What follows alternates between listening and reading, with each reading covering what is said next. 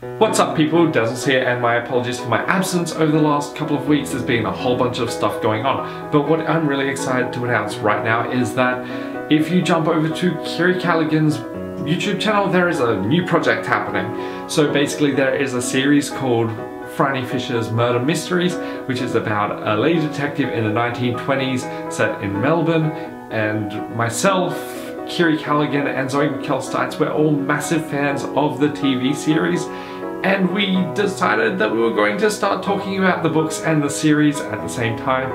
And it's a new podcast called Bitch I'm Here for the Story. So if you jump over to Kiri's channel right now and said the links down in the description below we're there having a great chat about the first book, Cocaine Blues, so go check it out. I'm going to get going. If you're at VidCon this weekend, I'm going to be floating around. Let me know if you're there down in the comments below or on Twitter. I'd love to see people around. Uh, that's all from me. I'm going to get going because I've got a lot to get done. I will see you later.